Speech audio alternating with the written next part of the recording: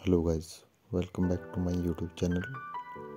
आज हम आपके लिए 10 बीस लैंड लेके आए हैं। जो कि आपको मोरनी हिल्स के टिक्कर में मिलेगी। इस लैंड का मेन रोड पे तकरीबन 60 फुट का फ्रंट है ये। और इसके साथ में ही लेक और चारों साइड से पहाड़ों का व्यू है। ये लैंड आपको पंचकुला, चंडीगढ़ से तकरीबन 40 किलोमीटर के आसपास में मिलेगी